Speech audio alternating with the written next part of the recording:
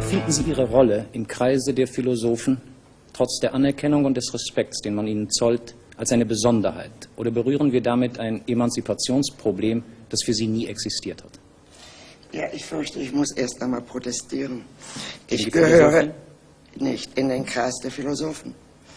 Äh, mein Beruf, äh, wenn man davon überhaupt sprechen kann, ist äh, politische Theorie. Ich äh, fühle mich keineswegs als Philosophen. Ich bin auch nicht, ich glaube nicht, in den Kreis der Philosophen aufgenommen, wie Sie freundlicherweise meinen.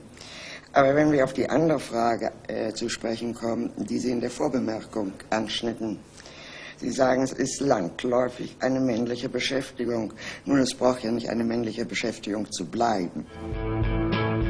But your normal home is in England, in the country. Yes. Now, you do go abroad a lot, don't you? Yes. Why?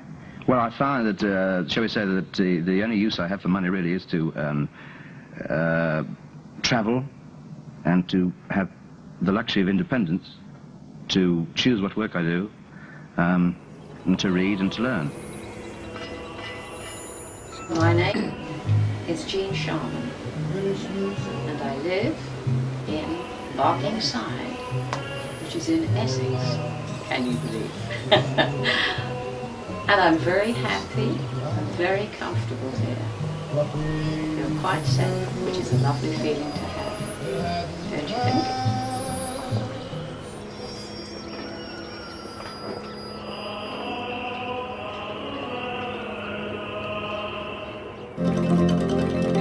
I grew up playing sports and slowly kind of got into fashion when I was in junior high. You know, I mean, it was a great way to uh, attract girls. It certainly set me apart from all the other kids in a Midwest junior high.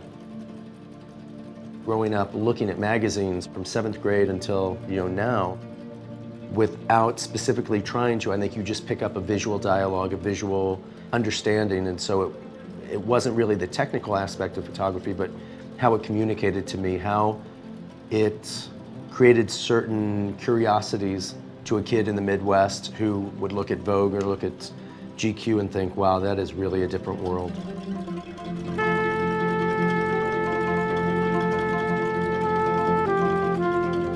I feel very lucky to get to have part of my day leading a visual life. Good, good, good, good.